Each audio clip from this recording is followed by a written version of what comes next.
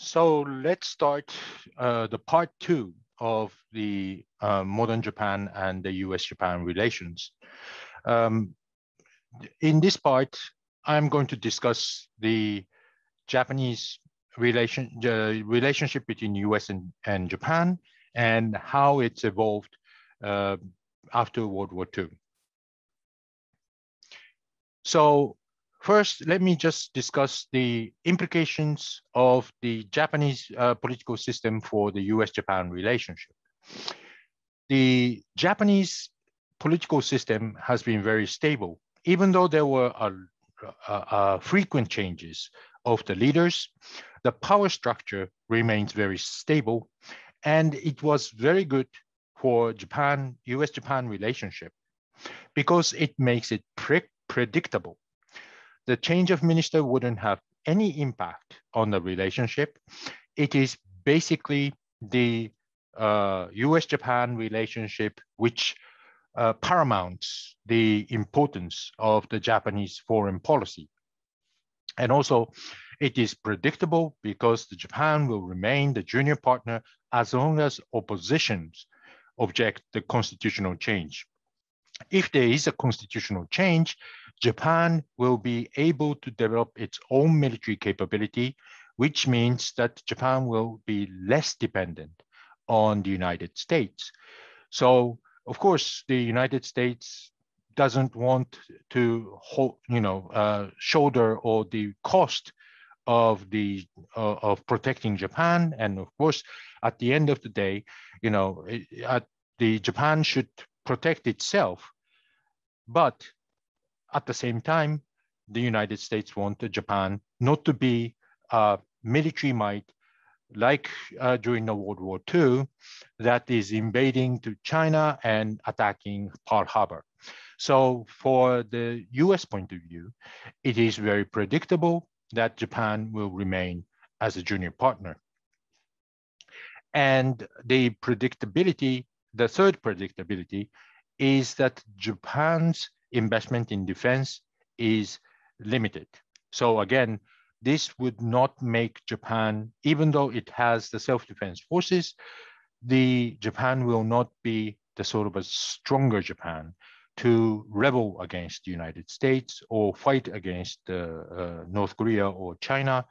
And the, this uh, sort of limits of the investment will make it um, predictable that the Japan's future uh, in the in in the uh, security structure in the East East Asia, but also as, as I said, there there is a, a question remains for the burden sharing issue. The United States is in a dilemma that the some of the burden needs to be shared and uh, um, the United States want, want Japan to spend more money on its own military, but at the same time, United States doesn't want Japan to be stronger. And also, um, the US-Japan relationship is not only the military issue, but also the economic issue. Um, the Iron Triangle, as I explained in the first, uh, first part, the Iron Triangle made it difficult for the US industry to penetrate into a Japanese market because of the close connection with the politicians. The Japanese industry were heavily protected by the political system. So United States during the 1980s, when there was a trade friction, there was a huge amount of um, cars and uh, semiconductors and many other things have been exported to United States and which had uh, had destroyed the U.S. Uh, U.S. industry in the first phase. Um, the United States wanted to use the political power to push Japan to open up its country, uh, its market, and um, but that was very difficult because of the Iron Triangle. So this trade friction during 1980s became as a very a big headache uh, for the alliance manager between the US and Japan. Also, there were very strong bureaucratic regulation um, uh, that protects uh, foreign investment come, coming to Japan. And this is largely part of the uh, Iron Triangle because the politicians want to push the uh, bureaucrats to be more protective and the bureaucrats want to protect its own interest by protecting its, uh, its industry. So um, the, this economic relationship has been in the, uh, in a big problem in 1980s, but gradually this has just vanished away uh, for two reasons. One is the bust of bubble, the uh, Japanese uh, collapse of the bubble economy, so that the Japanese industry itself became so weak and it's not competitive, and therefore the amount of export from Japan decreased. But the more important factor was the globalization. Because of the globalization, the Japanese political system also needs to be accommodated to the globalization of the supply chain, globalization of the um, multinational companies. You know, um, Japanese uh, market can no longer be closed and protective. So this has changed the whole dynamics of the economic relationship with United States and gradually Japanese market became open because otherwise the Japanese industry cannot be survived without the foreign direct investment. And the Japanese market became uh, quite open and also uh, uh, uh because partially because of the uh, uh, the trade system became from uh, uh, turned from a, GATT general agreement on tariff and trade to the World Trade Organization. So free trade was uh, was progressed, and the Japanese market will, uh, has to be open in order to accommodate with the um, uh, free trade uh, principles. And also, Japan became as the part of the mega free trade agreement, like TPP, the Trans-Pacific Partnership, uh, which the United States was supposed to be in it, but the uh, Trump administration, as well as the Biden administration, refused to join. So this uh, globalization, free trade makes uh, Japanese market open so that this uh, uh, trade friction between the United States and Japan were no longer the case in the in this century. So the security problem um, is based on starting from this pacifist constitution. Uh, in, in the part one, we discussed about the pacifist constitution, which divides the LDP and the opposition. So what this pacifist constitution says, in preamble, it says we, the Japanese people, desire peace for all time and are deeply conscious of the high ideal controlling human relationship. And we have determined to preserve our security and existence, trusting in the justice and faith of the peace-loving people of the world. So it's very idealistic. Peace-loving people of the world will, uh, and we trust them and trust their justice and faith for the good relationship in the world. This preamble strongly resembles with the uh, Charter of United Nations. Charter of United Nations, we the people of United Nations, blah, blah, blah. And there are peace-loving people, peace-loving nations, and you know, all these concepts have resonate uh, the um, the uh, uh, uh, uh Charter of the United Nations. So that was the sort of the uh, spirit of the uh, of the time, and in fact, the author of the Charter of the uh, um, Charter of the United Nations and the Japanese uh, Constitution, which was established under the occupation of the Allied forces, were similar. So there are same sort of people are drafting uh, sort of a similar um, um, uh, sort of sharing the similar ideal.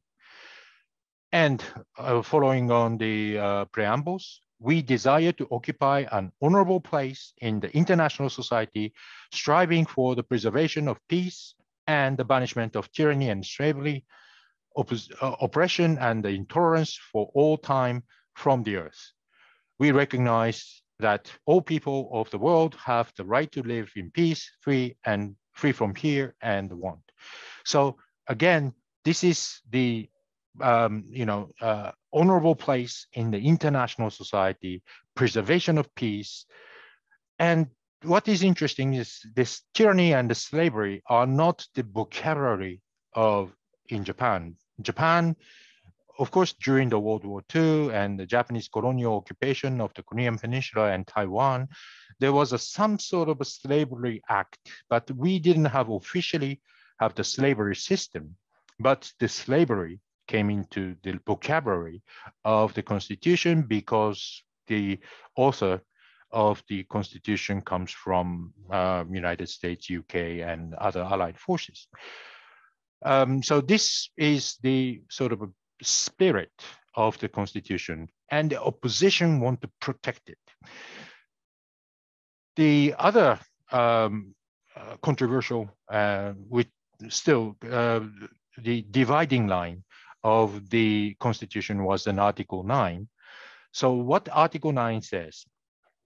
The Article 9 says, aspiring sincerely to the international peace, based on the justice and order, the people, Japanese people forever renounce war as a sovereign right of the nation and the threat of, or use of force as mean to settle settling international dispute. In order to accomplish the aim of the preceding paragraph, land, sea, and air forces, as well as other war potentials, will never be maintained. The right of belligerency of the state will not be recognized. So this is a very powerful article. It says renounce war forever as a sovereign right of the nation. But to, remind you that the threat or use of force as means of settling international dispute. So if there is an international dispute, we are not going to use forces. So like today, it, there is a territorial dispute over Senkaku Islands, but we are not going to use the forces. But if there is an attack that is not the in settling international dispute. It's the violation of international law, and there is the right for self-defense. So the concept of self-defense exists in the Article 9. This is the interpretation of Article 9. And the second paragraph says land, sea, air forces, and as well as other war potential will be never maintained. That means we are not going to have any war, war fighting capabilities. But no, because in order to accomplish the aim of the preceding paragraph says we are not using the forces to, for settling international dispute. So for that reason, we are not going to have the land, sea, air forces, etc. But for the self-defense, we'll be able to have land, sea, and air force to protect ourselves. So the, the forces that we have is called the self-defense forces. This is purely for the self-defense purposes and well, to some extent, it can be used for the peacekeeping operations for the sake of the international peace uh, in the preamble. But the, we can have the forces, but we cannot be used for settling international dispute. So this interpretation of Article 9 is extremely important. And the pacifist constitution faces the reality. There is a high ideal of the pacifist constitution, but the reality was that immediately after Japan became independent in 1952, uh, uh, until 1952, there was an occupation by the Allied forces. General MacArthur was the uh, commander of the Allied forces to occupy Japan. This is, um, so 1952 was in the middle of Korean War. So it was the time that the East and West fighting um, as, you know, as using the, the Korean Peninsula uh, as a battlefield. So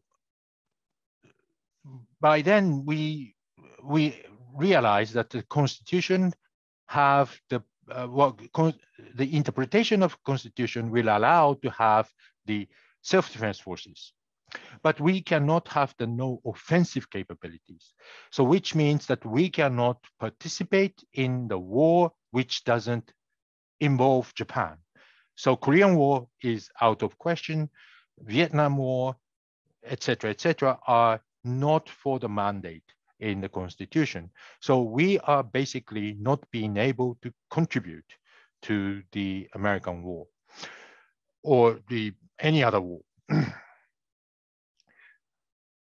However, um, from the US point of view, it is frustrating that the Japan do nothing uh, when the U.S. soldiers are uh, are fighting in the in the battlefield in uh, Vietnam or Afghanistan or Iraq or or uh, elsewhere. Um, but um, Japan, because of this uh, uh, interpretation of constitution, the Japanese forces were not allowed to participate the war which doesn't belong to Japan.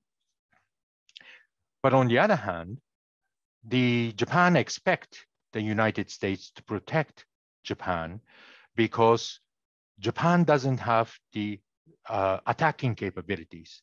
We don't have no, we don't have offensive capabilities, but the deterrence means that if you shoot me, I'll shoot you. But we don't have, Japan doesn't have the shooting capabilities. So we are asking United States to be the shooters. So if someone attacks Japan, then it is United States which will retaliate to the attack. And in that way, the Japan will be protected under the alliance and, uh, and the means of the, the deterrence through the alliance. So how this uh, deterrent uh, alliance is shaped based on the US-Japan Security Pact. This security pact, because of the Japanese constitution, is a very unbalanced al alliance.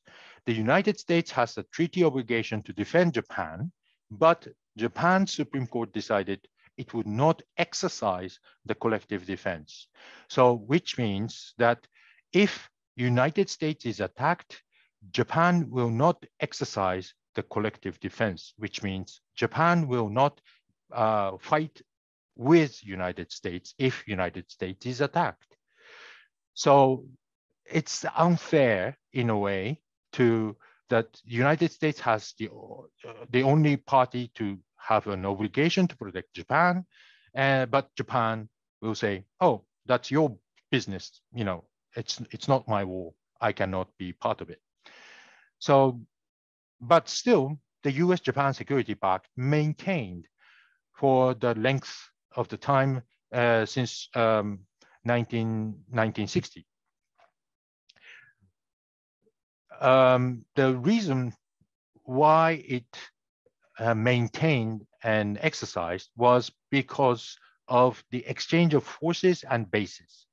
So United States provide offensive capability for Japan but in return, the United States will have the, the, the, the rights to use the Japan soil as the forward deployment basis. Because during the Cold War, Japan was the closest ally for uh, uh, in the Far East Russia, Far East Soviet Union. The Japan is, uh, you know, across the Sea of Japan, there was a Vladivostok and uh, and the and the, and the Siberia. So Japan will be the, uh, the front line of the Cold War. So the um, having a basis in Japan for the United States is extremely important for the global strategy for United States. So US uh, as, as an exchange of having the basis in, in Japan's soil, Japan will have the uh, um, uh, uh obligation to uh, protect US bases because it's part of Japan. But at the same time, US has an obligation to protect, the, protect Japan because there are so many bases in United uh, in Japan, the, so many US bases in Japan. So this was the sort of an exchange and and um, the uh, what is interesting is that there is a, a huge concentration of the uh, US US forces in Okinawa. In Okinawa, a large um, air base called the Futenma Marine Air, Air Station and uh, Air Force Base called Kadena. And there are big um, chunk of the uh, US forces stationed in Okinawa as the forward deployment. The problem is that there are so many troubles with the local people. So the local people demand to, uh, to, to move the US forces from Okinawa to the mainland Japan or to Guam or somewhere else. But the Okinawa, the Japanese government have no choice but to accept the US uh, request to stay in Okinawa. So the, the Okinawa has been always a dilemma uh, for the Japan's relationship with United States. During the Cold War, the balance between the United States, the US-Japan relationship in terms of the uh, security was basically good because there, there was a sort of shared purposes.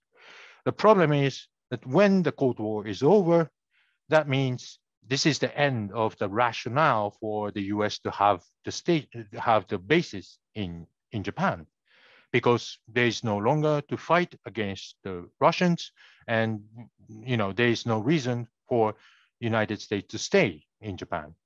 So Japan fear being abandoned and try and recognize the importance of alliance contribution. And Japan increased the host nation support, which is to support the cost of the uh, US, uh, US forces in Japan. And the host nation support will be, uh, there, there are host nation support by South Korea, Germany, Qatar, Bahrain, etc., etc. But the Japan is the most generous country for the host nation support. That is to facilitate the US forces to ma maintain their uh, bases in Japan as the deterrence power for the Japanese under the Japanese constitution. Then the Japan came to a big challenge during the Gulf War, starting from the 1991, because the Gulf War immediately after the collapse of Soviet, well, uh, it's not the, uh, immediately after the collapse of Berlin Wall, but Soviet Union was there. It, it uh, collapsed after the uh, starting of the Gulf War. Um, the United States demanded Japan to join the coalition forces which are attacking the Saddam Hussein to keep them keep him out from the Kuwait. But Japan, because of the constitutional constraints, Japan only contributed financially. And this financial contribution was not appreciated by Kuwait. Kuwait has put the um, uh, uh, uh, advertisement on the Washington Post immediately after the emancipation of Kuwait. And Japan was not listed as the uh, participating state in the Gulf War. Yes, of course, Japan didn't send the troops, but Japan made a, a, huge financial contribution. So Japan realized that, oh my God, if we don't contribute, then we will not be able to um, maintain the US forces in Japan, will be, um, will be neglected by the international community.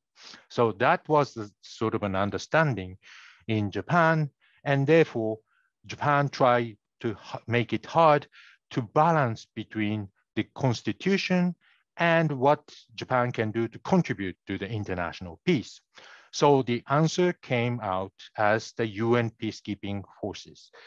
Japan can contribute to the UN peacekeeping operations. And in, in fact, there was a UN peacekeeping operation in 1992 in Cambodia. And the Akashi Yasushi, who was the uh, head, uh, the special representative of the Secretary General of United Nations, so and he's Japanese, so Japan had the whole reason to contribute to the UNTAC, the UN uh, um, UN Transitionary Authority in Cambodia. And this was the first big success of the Japanese sending the troops out of Japan. And gradually Japan started to realize that we can do much more than just a contribution to the UN peacekeeping operations. So the new guidelines, which is the guideline for the US-Japan Security Alliance, um, is established in 1992. This was the change. This was following the change of the U.S. Uh, security strategy in East Asia Pacific in uh, 1995, and the the U.S. forces will be able to mobilize to anywhere on the world. So the the Gulf regions or Afghanistan, you know that the, that basically the understanding that the US forces will not be, may not be stationed only in Japan, but you know, the, the Japanese, the US bases in Japan will be used as a platform for the, the, the global strategy for, for United States. So what happens if the US forces were engaged in the war for example, in case of the Chinese invasion to Taiwan. And in fact, in 1995, there was a Taiwan Strait crisis, and the President Clinton has sent the uh, um, aircraft carriers to the Taiwan Strait. So what happens if there is an engagement in Taiwan? If there is an engagement in Taiwan, then the China may attack the US, not only the US forces in Taiwan Strait, but also they are trying to attack the US bases in Japan. So we need to do something to, uh, to, to accommodate in that sort of a situation. So Japan established the emergency at periphery war uh, law. And uh, if there is this a situation, which is the, the war fighting situation beyond Japanese territory, would have an impact on the Japanese uh, Japan security then the self-defense force may operate together with the US forces. So this is a big change.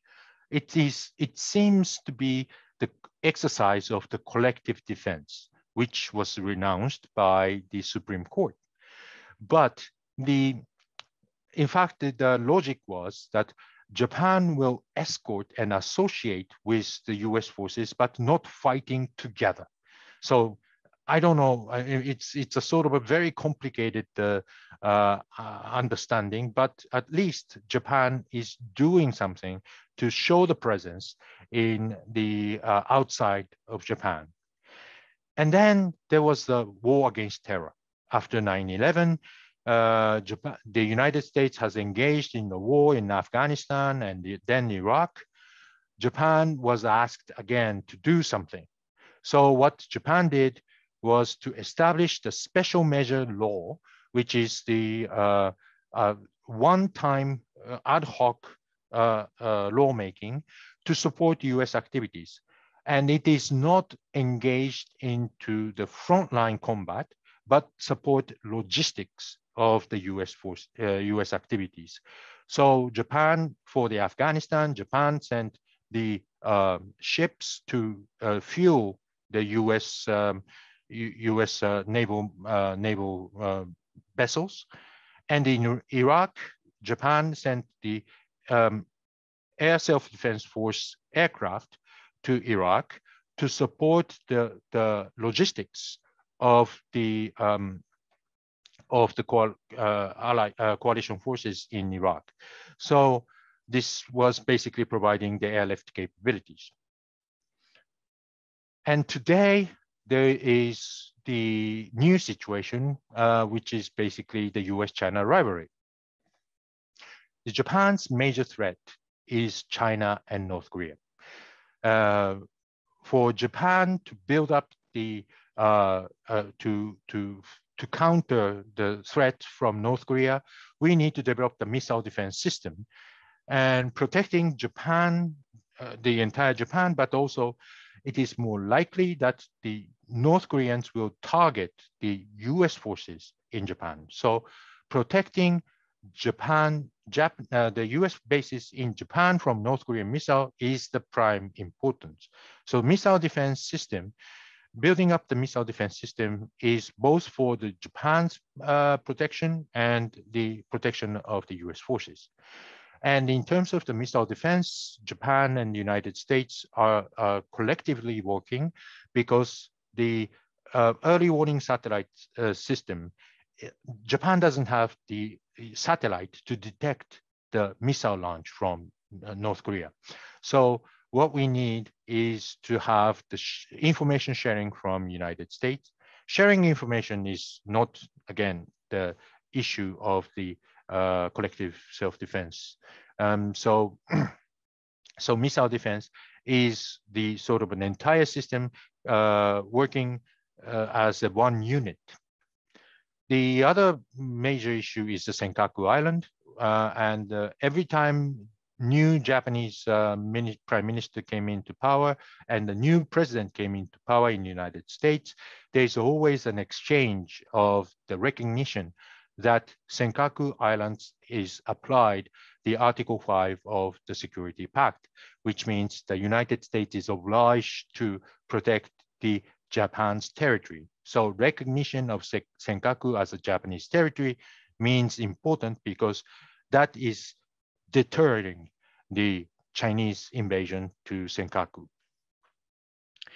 And addition to um, the uh, what is what Japan is doing now, uh, because of the increasing tension between the United States and China, and to some extent Japan and China, uh, Japan has uh, has established the uh, new peace and security legislations in 2015.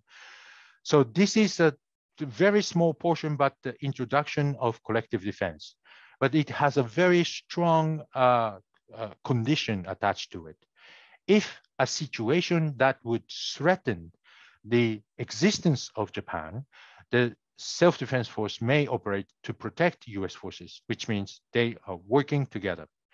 The emergency at periphery law only provides the Japanese capability for the logistics, but this peace and security legislation provides, allows self-defense force to fight together with uh, US forces. So the particular uh, situation is, ima uh, imagine uh, the particular situation is Taiwan. So if there is a Taiwan uh, Strait situation, then it may, uh, the self-defense force may operate uh, to protect the US forces. So it is a little breakthrough from the argument of Ittaika. Ittaika is the US and Japan, Japanese forces work as one unit. And uh, this is about the, uh, about the collection, uh, collective self-defense. But Japan has a long history of denying the exercise of collective defense and denying the Ittaika. But uh, at the end of the day, this uh, 2015 peace and security legislation has made a breakthrough under the very strict condition, but uh, to be able to exercise the collective defense.